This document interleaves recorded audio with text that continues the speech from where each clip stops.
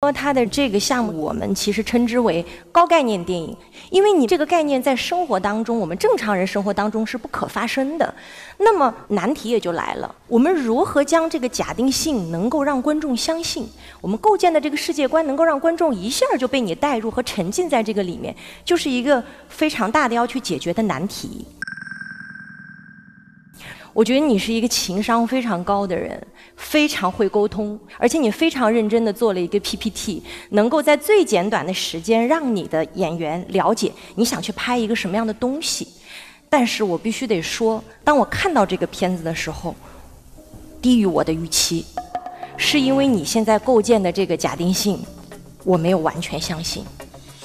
其实总体来说，就是你的题材已经是非现实的了，那你的手法为什么？不也是非现实呢？你用一个平常的手法去处理一个非现实的题材，这样是肯定是配合不到的嘛？我们也是感受不到的。嗯，回应一下老师的疑问啊，我有尝试去设计一些跟声音的，还有这个拍摄镜头的一些手法。不过，我觉得也许是我之前规划时间呢，我是希望能够把片子保守的拍完，因为在我看来，导演也有个功能，就是要啊应急嘛。那你知道你就有这么点时间。王阳导演，不好意思，我我想跟你说两句啊。这个节目对所有导演提出的条件是一致的，包括演员没有时间。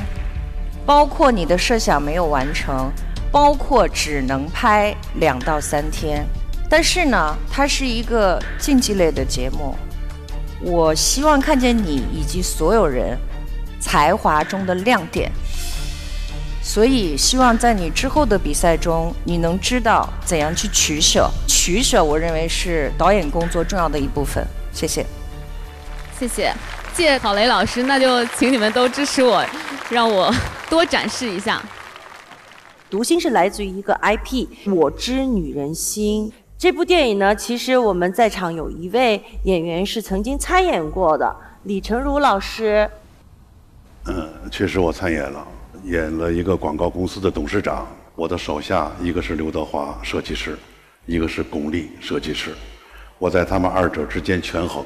最后选择谁把谁留下？其实他现在我知男人心这样的题材，我是没有发言权的，因为我情商特别低，虚度了六十多春，到现在没读懂女人。不用您懂女人啦，懂作品就好啦。作品呢，我感觉就是现在导演的文化认知，以及你的格局高低，驾驭这么大的载体，尚有难处。就这个作品。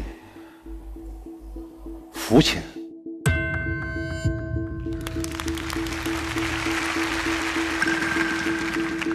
也就是你刚才解释的，你能不能利用这十分钟，选择更能够展示我读懂男人心的那一部分？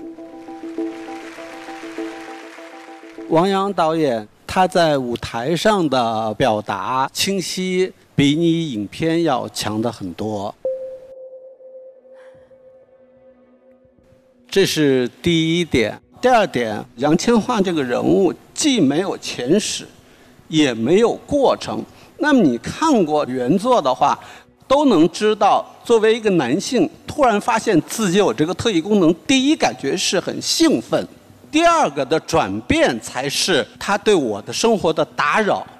第三个是我要摆脱，他有一个变化。在你这个影片里头，整个没有变化。而且他对别人的干预性有点莫名其妙，这个并不是说你作为导演现场所出现的问题，是你的文本里头就出现了问题。尤其是最后你的角色的身份的变化，一开始是杨千嬅是主人公，到最后又突然出来了个男性，这个男性又能听到女性的心理，就开始叙事出现混乱，来回跳跃了。我们学电影的都知道，一人一事一线到底，讲的一半，突然出现了两个人物，他是怎么完成的？我可以先回应，再听下一位老师，还是？当然可以。嗯，是这样的，我们的故事的主角就是杨千嬅老师，他是刚刚发现他有这个特异功能，所以他很慌张，他还没有准备好。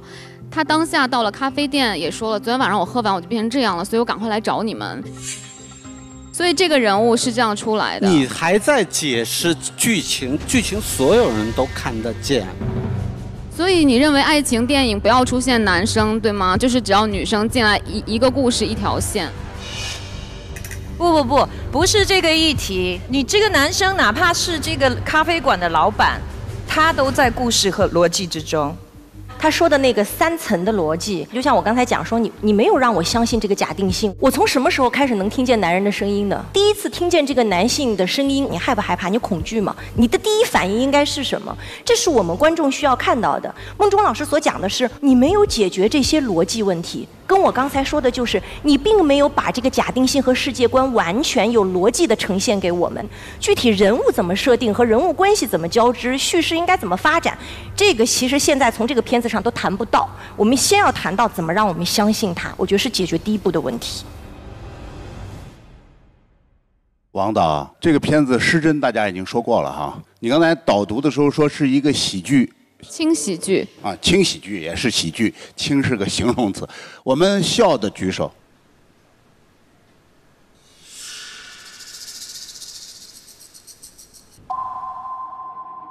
我们作为一个类型片的观众，你说海报上印喜剧，我就抱着喜剧的观影期待走进了电影院。其结果有三种：一没笑，彻底失败；第二种笑了，觉得很廉价，也很失败。第三一个，笑了回味，哎呀，还有点意思。华语片很难见到，所以你作为一个普通的商业类型片没有完成。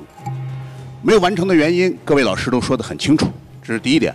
第二点更为糟糕的是，这是我在这个会场里看到的唯一一个不需要用画面讲故事的影片。你是一个广播剧，就你这个短片。只需要用文字和声音就可以把这故事讲得很清楚，异常之失败。电影是画面和声音组成的这么一个作品，既然没有画面，那么你导演就丧失了三大功能中最重要的一个功能。那何必要做电影导演呢？那乌迪·艾伦也是电影导演啊，他也是画老式导演，而且他的画面的动态更少。好的。我们复原，我们复原任何一部乌迪·艾伦的片子，它的画面是有它画面中的内容的。刚才说画面之所以没建立，甚至是失真，不能再重复了，大家已经聊过了。我再给你举个例子，《失恋三十三天》也是一个不需要画面的电影，只是它讲的有趣，没有失真，所以这是一部非常糟糕的电影。你越回呢，你就激发人越来劲儿。对呀，你越回他们越逗。你在课堂上跟老师顶嘴，曾经有过好下场吗？老师认为他们是在掏心掏肺的教你，可是你却顶嘴说不是这样子的。那老师当然只好拿更多的内容来跟你沟通啊。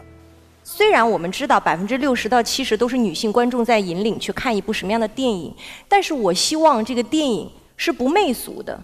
不是说我为了女性来看电影，我就要去剥夺女性的欢心，而是我们要在一个正确的价值观、爱情观下面去讲真实的人、真实的事儿。王阳，我不是针对你这个电影说的啊，我是针对说这样的一个市场类型和我们是如何去研发文本。就如果比如这个片子我来陪伴你做的时候，我可能就会去摘掉你所有的不舒适，至少是让今天在场所有男性当下的不舒适，但是我也要力求让所有的女性舒适。我觉得这个就是。我们作为导演和制片人在做商业电影的时候需要平衡的点，所以我一直在讲我们在平衡。其实我是在为渣男证明，但是我觉得我好像没有成功。其实大家细数一下，里面渣男并不多。子怡，你能告诉我们，你参演了王阳导演的这个作品，你有什么想说？我觉得导演就是，嗯，很知道自己想要什么。我感觉的是，我不会很懂电影，所以我可能没有说在场的老师那么专业的角度去分析镜头啊，或是电影。我只是觉得我的感觉，我觉得和导演合作蛮舒服的，嗯。我最后补充几句哈，我觉得其实这个电影啊是一个很有意思的选题，包括杨千嬅的主角，观众可能会很喜欢。所以这也是我对这个影片的一部分肯定的原因，是在于说这一定是一个当下作为商业电影非常吃的题材。你很会选题，但是我的猜测不知道准不准确啊，可能在我们的专业评审的评分会很低。我们现在说的这些是希望你更好，不是打击你，也不是说哦这个作品就一无是处了，或者是怎样。我们只是需要去在这样的一个舞台上，一方面告诉导演我们应该怎么去拍一部真正好的电影，又有艺术性又有商业性；另外一方面，我们也要告诉观众，我们无论是商业制片人还是专业评审，我们是怎么评判电影的。我相信好电影。大家都是一致性的，大家不一致的，其实是在商业和学术性的这个层面上，其实是有分水岭的。我确实觉得，从电影本体的拍摄上，我们要听听老师们在讲什么，我们需要精进。谢谢老师。现在要揭晓票数的时候了，王安导演的影片《读心》，大众上座率是。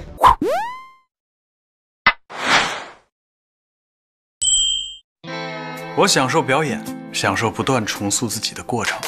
不同的角色有不同的表演方式，连一个笑容都有用不同的方式去展现的可能。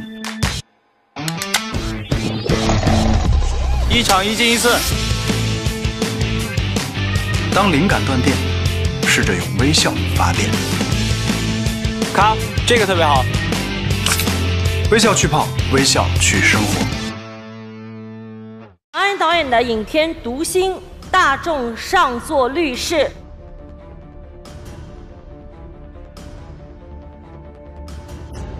百分之八十四。我猜到了，不低。专业上座率是百分之二十二。总票数为一百七十九分。